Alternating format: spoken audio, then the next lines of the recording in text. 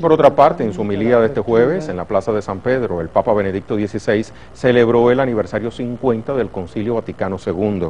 Con la presencia de patriarcas, obispos y clérigos de todo el mundo, el sumo pontífice exhortó a los fieles a comenzar con alegría el año de la fe, que se prolongará hasta el 24 de noviembre de 2013, con el objetivo de dar un renovado impulso a la misión de la Iglesia. Estos festejos llegan en momentos en que la Iglesia ha visto empañada su reputación por casos de pederastia y corrupción.